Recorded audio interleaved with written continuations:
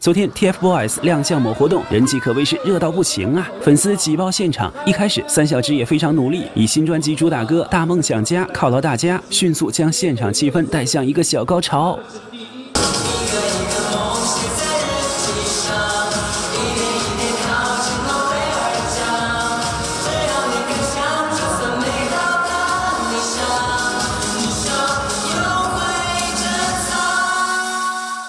眼瞅着三小只人气如此之高，活动主办方也是相当会做事儿，当场表示将为 TFBOYS 送上路透社和纳斯达克两块世界标志性巨幅广告牌。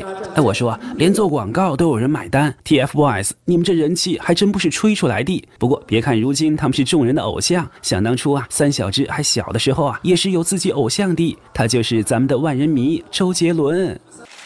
哦，我我曾经小学的时候，因为。也没有什么零花钱嘛，就经常攒钱去买那个周杰伦的专辑来听，就花好久好久的时间去攒钱买专辑，然后当时爸妈都说我疯了。又酷全一乐，认真努力的孩子才有出息。北京报道。